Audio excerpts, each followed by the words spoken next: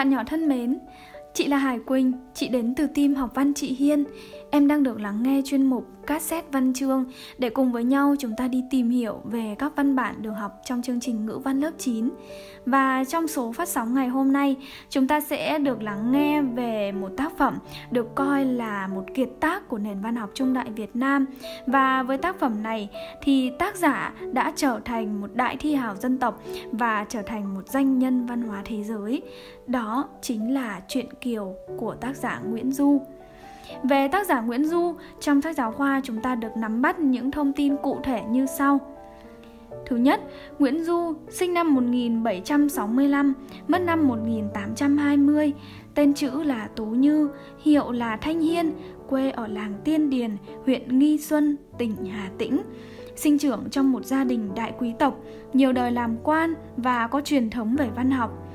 Cha là Nguyễn Nghiễm, đỗ tiến sĩ, từng giữ chức tể tướng, anh cùng cha khác mẹ là Nguyễn Khản cũng từng làm quan to dưới triều Lê Trịnh. Tác giả Nguyễn Du có cuộc đời gắn bó sâu sắc với những biến cố lịch sử của giai đoạn cuối thế kỷ 18, đầu thế kỷ 19. Đây là giai đoạn lịch sử đầy biến động với hai đặc điểm nổi bật, chế độ phong kiến Việt Nam khủng hoảng trầm trọng, bão táp, phong trào nông dân khởi nghĩa nổi lên khắp nơi, đỉnh cao là khởi nghĩa Tây Sơn, đánh đổ các tập đoàn phong kiến Lê, Trịnh, Nguyễn, quét sạch 20 vạn quân Thanh xâm lược. Trong hoàn cảnh ấy, Nguyễn Du đã sống phiêu bạt nhiều năm trên đất Bắc từ năm 1786 đến năm 1796, rồi về ở ẩn tại quê nội Hà Tĩnh từ năm 1796 đến năm 1802. Sau khi đánh bại Tây Sơn, Nguyễn Ánh lên ngôi vào năm 1802. Nguyễn Du ra làm quan bất đắc dĩ với triều Nguyễn và năm 1813, năm 1814, ông được cử làm chánh sứ sang Trung Quốc. Năm 1820, dưới triều Minh Mạng, Nguyễn Du lại được lệnh làm chánh sứ sang Trung Quốc lần thứ hai, nhưng chưa kịp đi thì bị bệnh và mất tại Huế. Nguyễn Du là người có kiến thức sâu rộng, am hiểu văn hóa dân tộc và văn chương Trung Quốc. Cuộc đời từng trải, đi nhiều, tiếp xúc nhiều đã tạo cho Nguyễn Du một vốn sống phong phú và niềm thông cảm sâu sắc với những đau khổ của nhân dân. Nguyễn Du là một thiên tài văn học, một nhà nhân đạo chủ nghĩa lớn. Sự nghiệp văn học của Nguyễn Du gồm những tác phẩm có giá trị lớn bằng chữ Hán và chữ Nôm. Thơ chữ Hán có 3 tập, gồm 243 bài. Sáng tác chữ Nôm xuất sắc nhất là Đoạn Trường Tân Thanh, thường gọi là Truyện Kiều. Và bên cạnh đó chúng ta sẽ được đi tìm hiểu về một kiệt tác của tác giả Nguyễn Du Đó chính là Đoạn Trường Tân Thanh hay còn gọi là Truyện Kiều Truyện Kiều là tác phẩm tiêu biểu nhất của thể loại truyện nôm trong văn học trung đại Việt Nam. Viết truyện Kiều, Nguyễn Du có dựa theo cốt truyện Kim Vân Kiều truyện của Thanh Tâm Tài Nhân, một tác giả của Trung Quốc. Tuy nhiên, phần sáng tạo của Nguyễn Du là hết sức lớn, chính điều này mới làm nên giá trị của kiệt tác truyện Kiều. Chúng ta có thể tóm tắt về tác phẩm truyện Kiều như sau. Truyện Kiều gồm 3 phần. Phần thứ nhất, gặp gỡ và đính ước.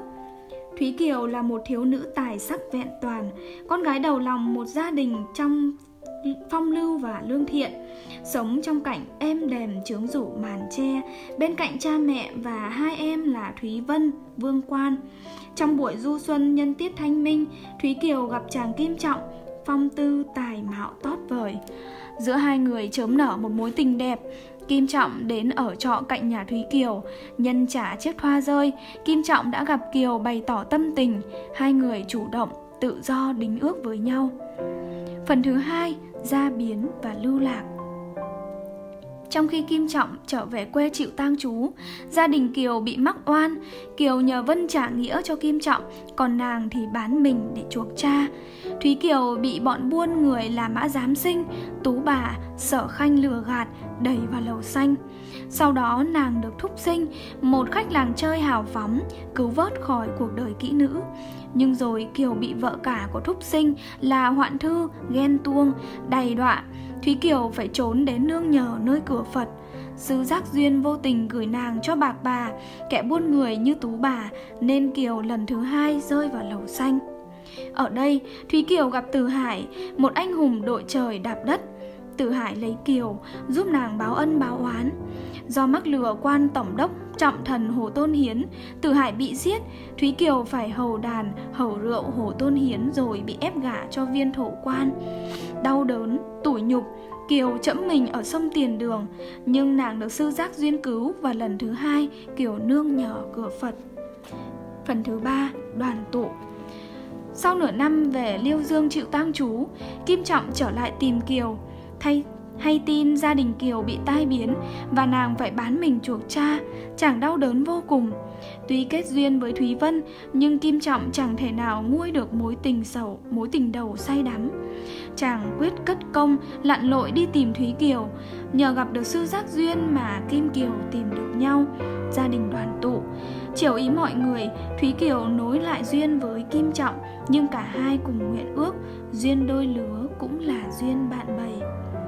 Với tác phẩm truyện Kiều, chúng ta cũng tiếp tục được tìm hiểu về những giá trị, nội dung và nghệ thuật vô cùng đặc sắc của tác phẩm. Trước tiên là về nội dung.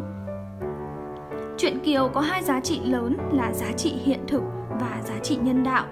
Truyện Kiều là bức tranh hiện thực về một xã hội bất công, tàn bạo, là tiếng nói thương cảm trước số phận bi kịch của con người, tiếng nói lên án, tố cáo những thế lực xấu xa, tiếng nói khẳng định đề cao tài năng, nhân phẩm và những khát vọng chân chính của con người như khát vọng về quyền sống, khát vọng tự do, công lý, khát vọng tình yêu, hạnh phúc. Về nghệ thuật, truyện Kiều là sự kết tinh của thành tựu nghệ thuật văn học dân tộc trên các phương diện ngôn ngữ, thể loại. Truyện Kiều, ngôn ngữ văn học dân tộc và thể thơ lục bát đã đạt tới đỉnh cao rực rỡ. Với truyện Kiều, nghệ thuật tự sự đã có bước phát triển vượt bậc từ nghệ thuật dẫn truyện đến nghệ thuật miêu tả thiên nhiên, khắc họa tính cách và miêu tả tâm lý con người. Kiệt tác truyện Kiều hàng trăm năm nay đã được lưu truyền rộng rãi và có sức chinh phục lớn đối với mọi tầng lớp độc giả. Tác phẩm đã được dịch ra nhiều thứ tiếng và được giới thiệu ở nhiều nước trên thế giới.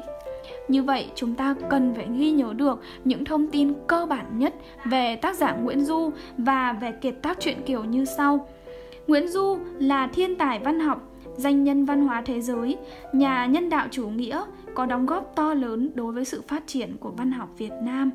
Và truyện Kiều mà chúng ta được học chính là kiệt tác văn học, kết tinh giá trị hiện thực, giá trị nhân đạo và thành tựu nghệ thuật tiêu biểu của văn học dân tộc.